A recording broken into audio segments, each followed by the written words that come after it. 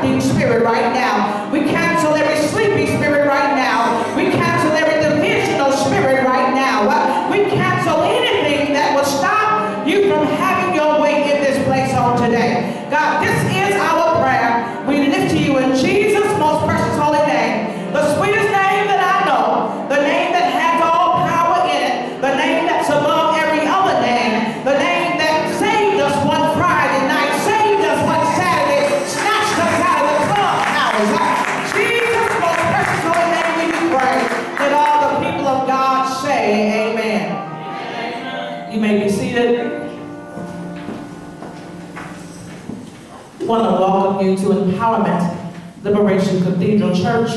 We are an affirming church. We are an inclusive church. We are a church that celebrates LGBTQ Christians. We are a church that celebrates heterosexual Christians. We are a church that celebrates those who may be non-conforming, androgynous, de- desire to express themselves differently. We celebrate simply all of God's people. We offer you God's love, and we want you to feel the love of God and the welcoming of the Holy Spirit every time you enter these doors. So welcome, welcome, welcome to Empowerment Liberation Cathedral, better known as ELC. At ELC, we do like to use technology.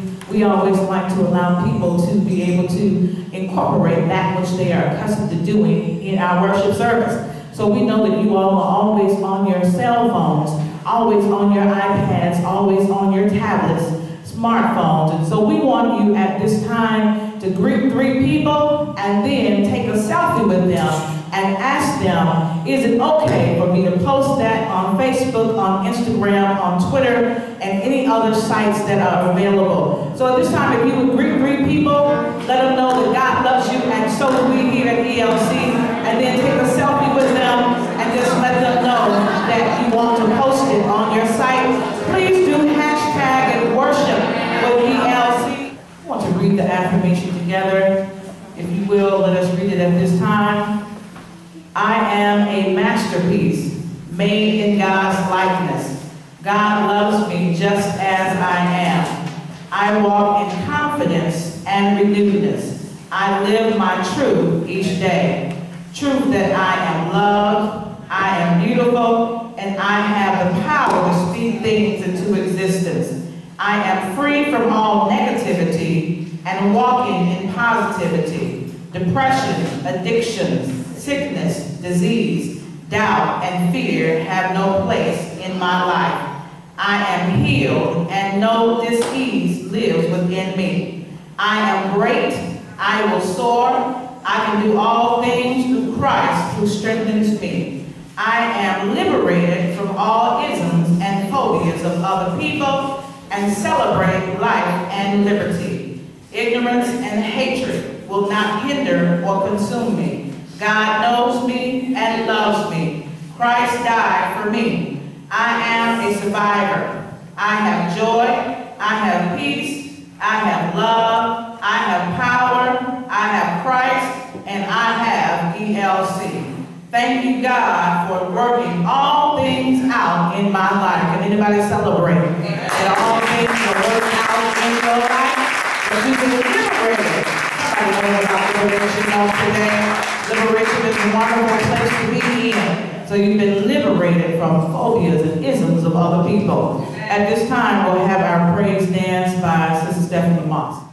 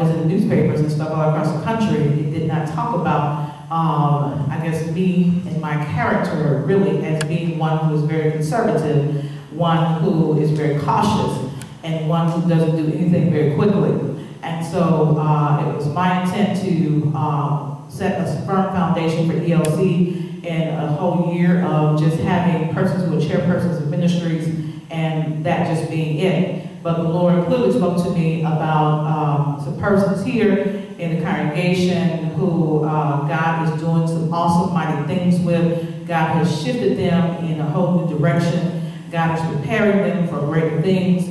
God is really turning their lives upside down if you would allow them to give their testimony. If you heard it, God is really turning their lives upside down. And so, out of obedience to God and obedience to the Holy Spirit, uh, we had a call and I spoke with them and let them know what the Lord had shown me about them, what the Lord had spoken uh, needs to begin to occur in their life, the new path that they need to be on. And so, we will officially from this day forward have three persons. We had four persons that God showed me, but three persons are prepared to move forward at this time. We will have three persons who are deacons in training here at ELC. So after I call their names, I would like for them to stand, and then I want ELC to stand for the new level that God is putting them on. So uh, I'm going to ask them to stand up front right here. We have uh, Sister Catherine, uh, better known as Kat, um, Kay and Paige. Would you come up?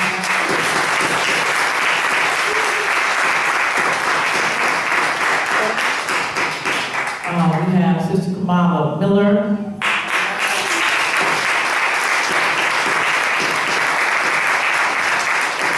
Uh, Brother Manuel is not here on today, but just give a clap for Manuel. So at this time, I would like for you all to stand and receive them now as the new deacons in training for next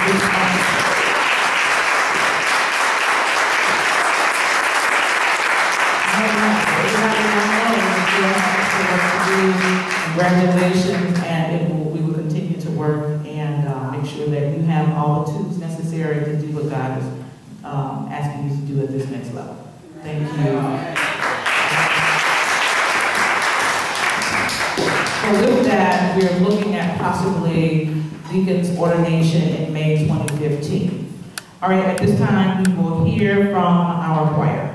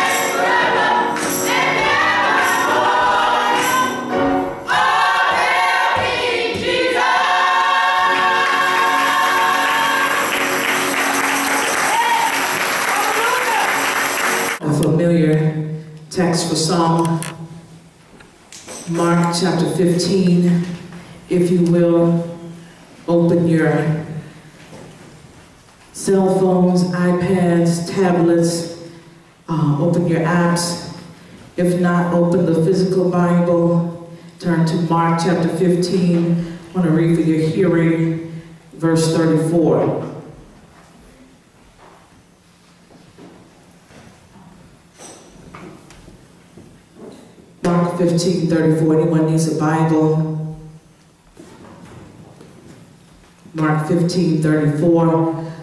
Would you stand for the word of the Lord?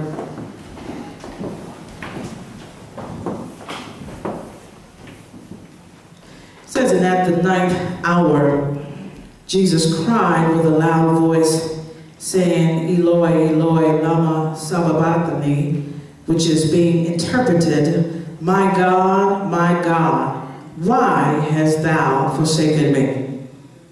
You may be seated in the presence of the Lord. Somebody's going to know why I'm talking about that in a minute. Put a tag on that text by simply saying, Forsaken for your future. Forsaken for your future. If you will, bow with me. Gracious, kind God, we just thank you for another opportunity to approach the throne of grace. God, hide me behind the cross. Let the people hear your voice. Let them feel your presence. Let them experience your power.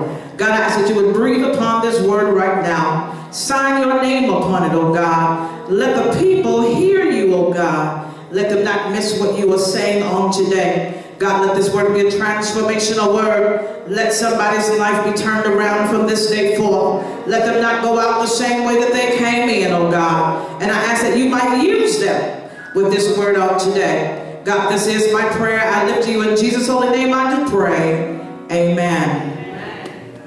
Here we are with Christ on the cross, talking to God in a very personal manner. Instead of saying Abba as usual, he says, My God, my God. Now, Jesus is accustomed to having a close bond and divine connection with the Father in heaven. But here it is evident by what he says that a separation has occurred. If I had to say it in today's term, I would say some space has been created between Jesus and God. Anybody ever felt like some space had been created between you and God?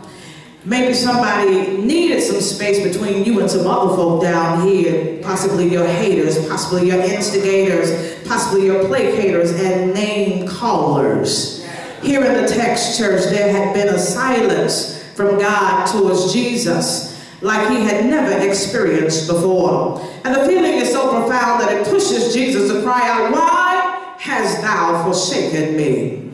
Now, the way I see it, church, Christ came to the earth with a job to do and with expectancy of being the holy sacrifice for the people of God. However, it appears by his commentary here and by his actions that he did not expect it to feel this way. He didn't expect it to be this way. Can anybody admit that sometimes you've known what you have been called to do, what your assignment is, but you didn't think it would be as hard as it turned out to be. Y'all ain't saying nothing today. Can anybody be shame the devil up in here and say that you knew it might be some challenges, you knew it might be some turmoil, some heartache and some pain, but nothing like what it turned out to be. You didn't know your so-called friends would turn their backs on you. You didn't know your family members would disinherit you and act as if you no longer had that same blood running through your veins. You didn't know the people on your job would distance themselves and act as if y'all had never been friends. Expect the church folks to ostracize you, criticize, criticize you, bastardize you, and demonize you after knowing your gifts and the anointing on your life. You didn't know, you didn't know, you didn't know. But church, I need to inform you that sometimes when you are pregnant with destiny, that is going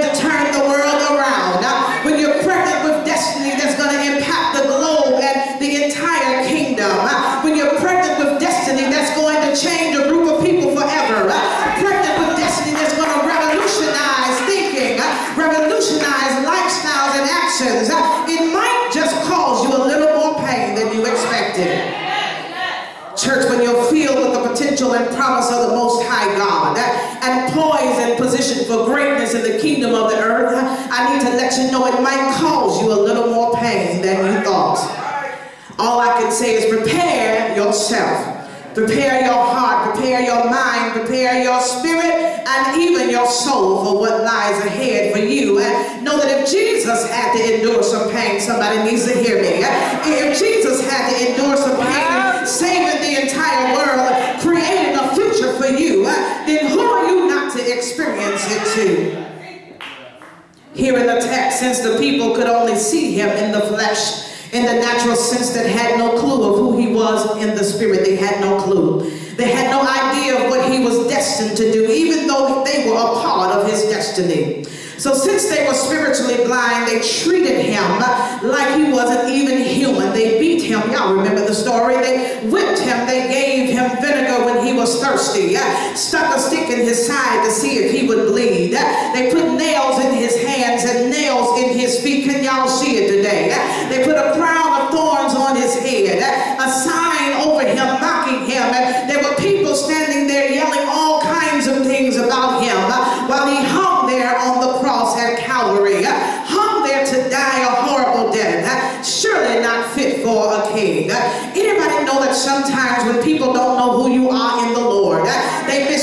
you, uh, they misidentify you uh, to be somebody much less of who you are. Uh, They call you all kinds of names. They may even spit on you and step on your dreams. But you just need to know it won't last always. It won't be heartache and pain always because you serve a God that has power over any person that will ever hurt you. You serve a God that has power over any person that will ever curse you. You serve a God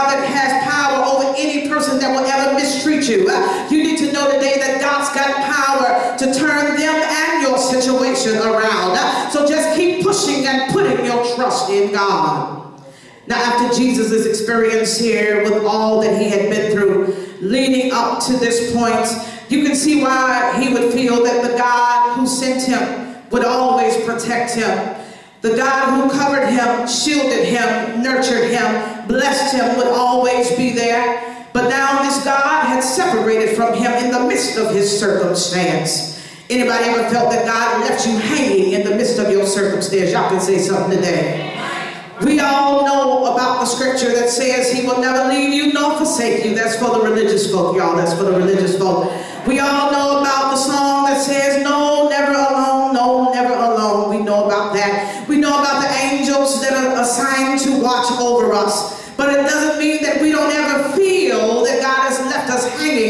Midst of our storm. Uh, Can anybody testify that sometimes, yes, you who are in the church uh, have felt that God left you in the midst of your storm?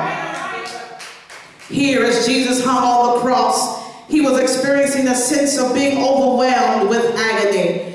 Church, I believe that if you were in the same position where you felt the God who always covers you has now left you uncovered, the God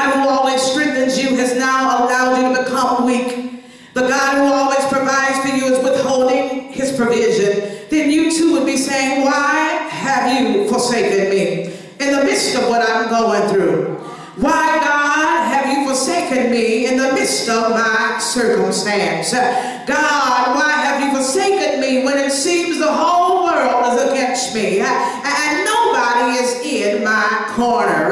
Why, God, have you forsaken us when they are making laws against the community to hurt us? They are winning elections that will put politicians in to marginalize our people.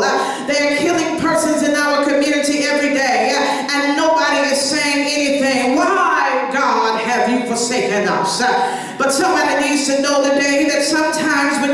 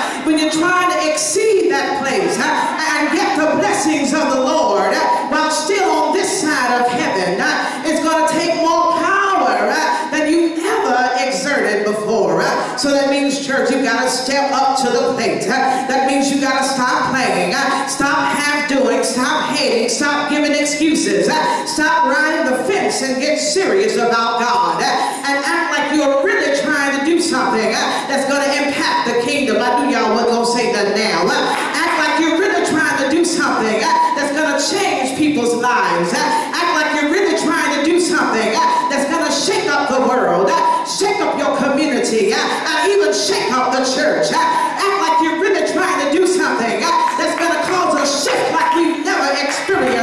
Experienced before.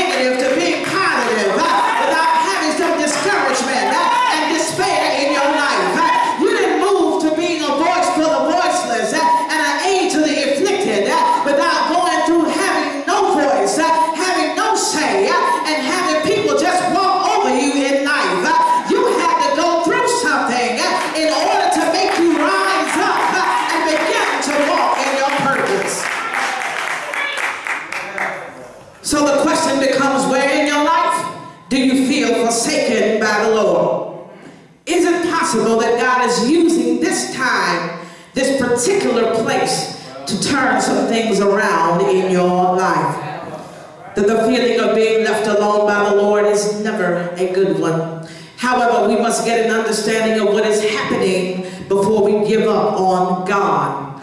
Jesus felt forsaken by the Father here. However, it was evident that God was still his God, even in the midst of him feeling left alone. I want to say that as LGBTQ Christians, we must know that God is still our God, even in the midst of being ousted from some churches. God is still our God. Even in the midst of being demonized in some communities, God is still our God. Even in the midst of being minimized by institutions and state houses all across the land, God is still our God. We must wake up and realize God has never left us. God has never forsaken us. The Spirit of God has continued to be upon us. And for some, we can say we never lost our praise. We can say we never lost our hope. We never lost our joy. We never lost connection with the Creator. So no matter what they say, we have always, always been God's people. The Bible says, He said, My God, my God. So here, even though it is a feeling or sense of disconnection, there is still some connection present since the word my shows a sense of belonging. I just want to say that in the midst of your storm, in the midst of your tribulation, in the midst of your agony, don't ever get so far-fetched that you don't realize that you still have a God who has all power in God's hands. No matter what's going on, no matter what the people are saying, no matter how crazy things get, you still have a God who's got all power in God's hands. And that God is the God that you serve. I want to suggest you that a feeling of despair doesn't always lead to demolition. Here, Jesus deals with the forsaken piece. He deals with feeling abandoned by God. Some of us can relate to Jesus right here. We, we know abandonment. Abandonment drove down our street. Uh,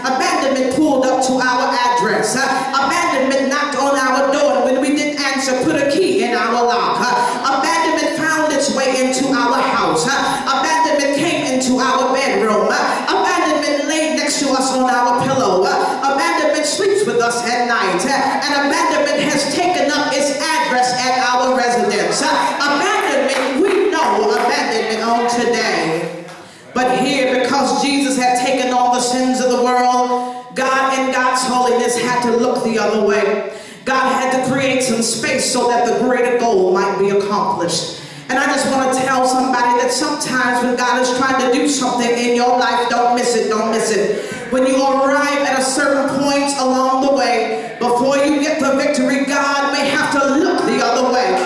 Before you get your breakthrough, God may have to look the other way. Before you get your healing, God may have to look the other way. Before you get your promotion, God may have to look the other way. Before your true ministry comes forth, God may have to look the other way. Before the next level of anointing falls upon your life, God may have to look the other way. When God looks the other way because of what's been taken on by you in your life, that feeling may be overwhelming. That, feeling may seem like something you've never experienced before. But I'm just crazy enough to believe that this feeling of being overwhelmed,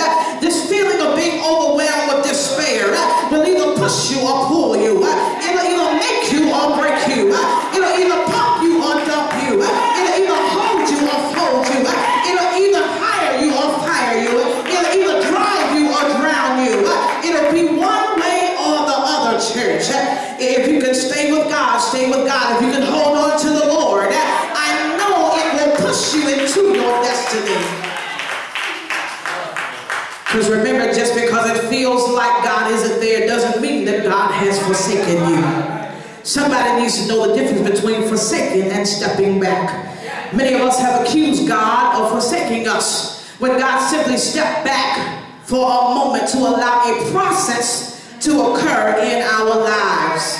Just because God looks the other way doesn't mean that God ain't gonna turn back in your direction. God is still with you. God has just been silent as you grew, silent as you stretched, silent as you blossomed, silent as you shifted, silent as you came into a new level of revelation and knowledge. So don't hate the process of the Holy One. Hate the players who make you not want to be in the game. Oftentimes, when God gives us assignments and pushes us to walk in our purpose, God doesn't give us the full picture. God doesn't reveal all of the details.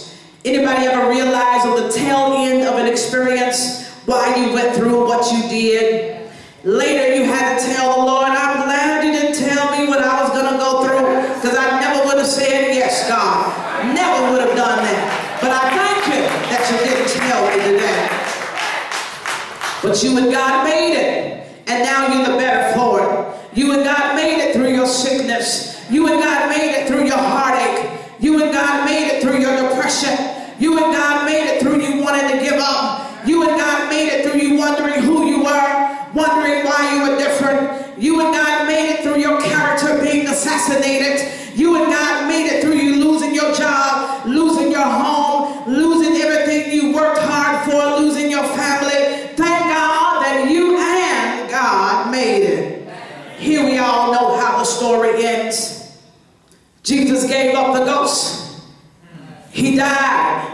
buried, and rose on Sunday morning with all power in his hands. He was the perfect sacrifice for the people of God. Now, if you can realize that just because you feel abandoned doesn't mean that you have been, and if you can admit that you and God have made it through everything that has come your way, then I need you to understand that because Jesus was forsaken for your future, you must be somebody special. Church, Jesus had to be forsaken because without it, you would not have a chance at eternal life. God had to look the other way to allow Jesus to die and fulfill his destiny. A destiny that would impact people for ages to come.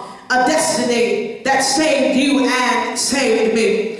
A destiny that put the devil to shame and has made the devil realize that he will never the victory as long as God reigns in heaven above. A destiny that will continue until the ends of time. Would anybody want that on today? To have your destiny be something that would impact the world until the end of time. To have your destiny be talked about all across the lands. To have your destiny change the world, change hearts, change minds, spirits, and souls. To have your destiny free people from oppression, liberate those who've been marginalized, institutionalized, disenfranchised, and shackled. To have your destiny heal the wounded at heart, heal the wounded at spirit, and desire to be reconnected with the God that created them. What a wonderful tendency to leave simply because you followed God and moved beyond what was happening to distract you and deter you from serving the Lord and thus began to promise God that you would serve God until you die. So if you will press your way, church, in the midst of what's going on in your life, sure that Jesus will show up and show who you are. If you will press your way in the midst of the storms that may be raging in your life, we all got storms. Sure that Jesus will show up and show who you are. If you will press your way, church, in the midst of almost losing your mind, anybody ever almost lost their mind with what was going on? Now, almost losing your mind and almost losing your religion. Now, in the midst of all of that, Jesus will show up and show who you are. Press your way to get to be what God had in mind when God created you and breathed the breath of life into you and realize you are somebody. Anybody know that you are somebody on today? When you know that you are somebody, somebody that God can use. I just believe that you'll praise God anyhow. Y'all know I like to test the anyhow praises in the house. Do I have any anyhow praises in the house on today?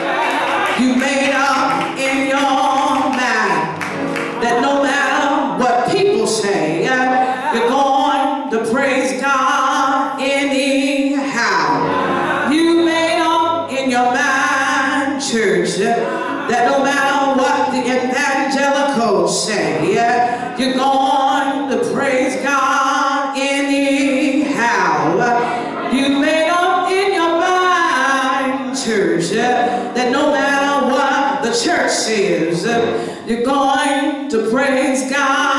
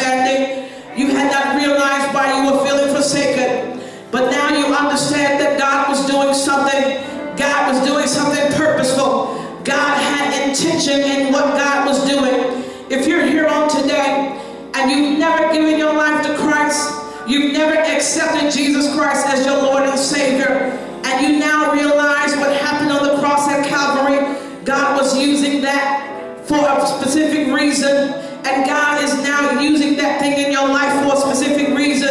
If you're here on today and you want to put your hand in the hand of the only one who can change your life,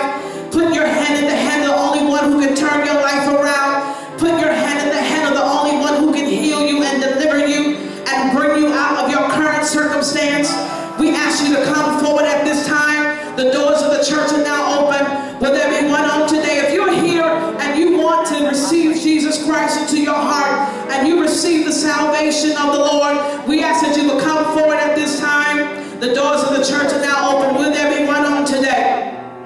We know oftentimes many of us join church as young people.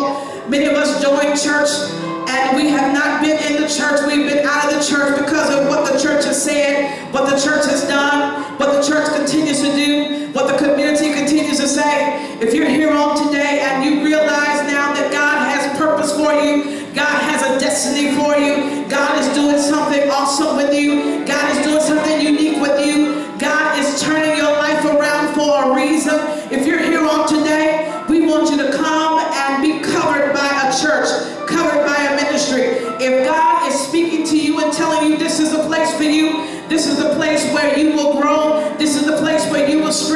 this is a place where God will use you. If you hear the Holy Spirit, if you feel the presence of the Holy Spirit, we ask that you would come forward at this time. The doors of the church are open. There's nothing that we can do to beat God's giving, no matter how much we try, but we always want to be obedient in our giving. And I always like to say that the days of running the church off of a dollar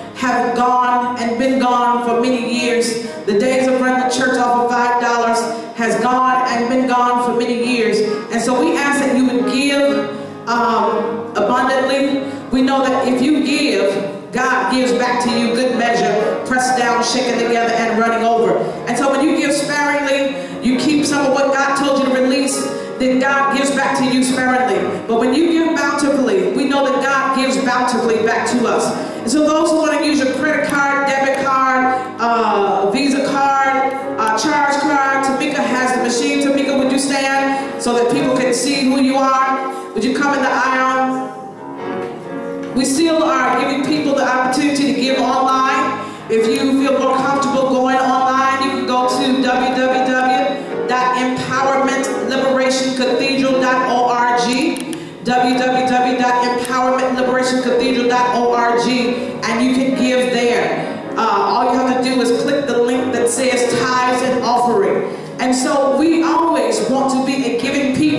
When you look at people who are tremendously blessed, you look at their giving, look at how they give, look at where they give, look at how freely they give. And so we know that those who are givers are tremendously blessed. And so those who are watching virtually, we want you to go online and click on the link, uh. If you have your offering, we ask that you to stand. Those who are giving by credit card,